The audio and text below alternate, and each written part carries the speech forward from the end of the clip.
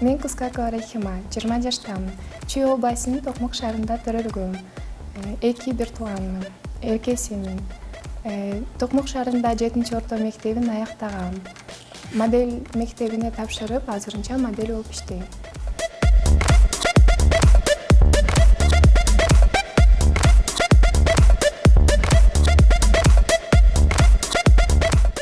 Мындан тышкары көп көп сынактарга катышып байгелүү орундардын ээсимин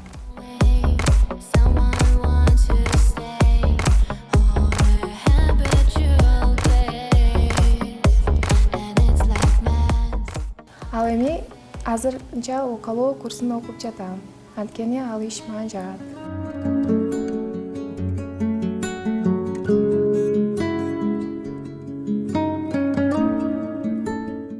укалоо бул кан айлантуу системасын жакшыртат э, жана адамды жашартат. Э, жок дегенде бир жылда он беш жолу келип сеанс алып кетсеңиз болот.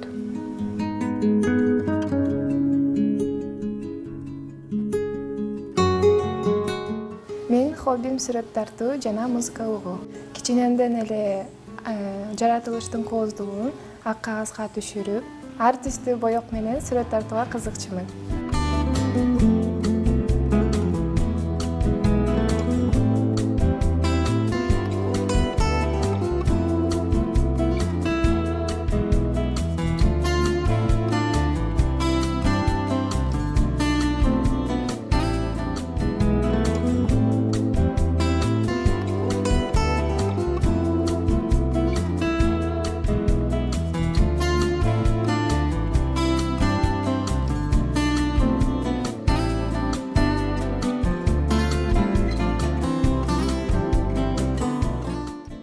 мүнөзүм жөнүндө айта кетсем мен жоош жөнөкөй жооптуу кызмын бирок ачуум келсе өзүмө жооп бере албайм.